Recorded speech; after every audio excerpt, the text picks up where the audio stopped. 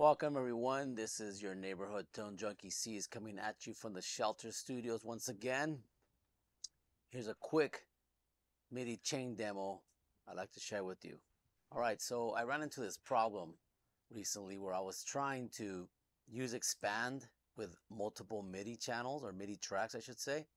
And whenever I would do that, I would I was able to control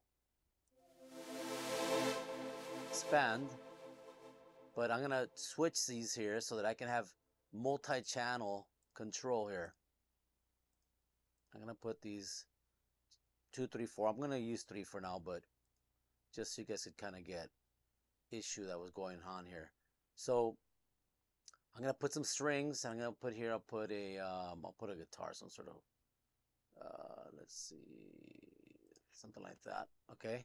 So when I do this, and I go here and it gives you this chain in. So if I click here, it's still playing only MIDI channel one.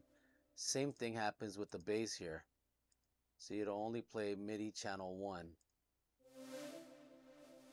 We'll leave this up here so we can see it. It's only triggering this channel here. In the past, I was able to assign this MIDI track to let's say these strings here, and I'll call this string so it could match it.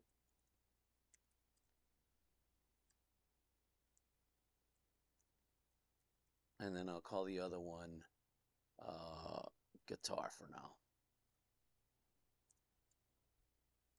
Which is to shift command K will give me my keyboard back, which is to play my my pads there. But I want this to play strings but it's not doing that. So how do I change that? In the past, I would be able to see individual channels here. So what I'm going to do is I'm going to open up my instrument view here and I'm going to take this chain off.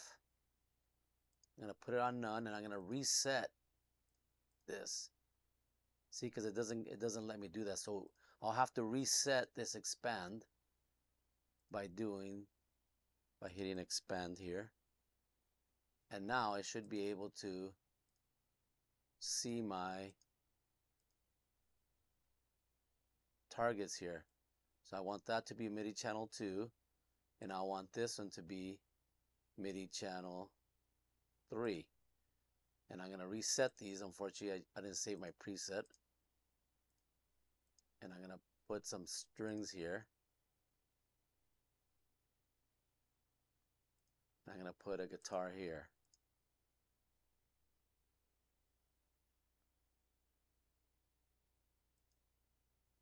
So now when I do this,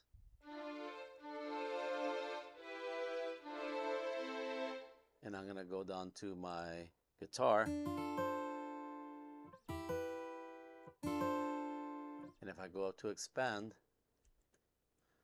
I should be able to now reset this to be Xpand MIDI channel 1 here. That's a little loud, so I'm going to bring this down here. And there you have it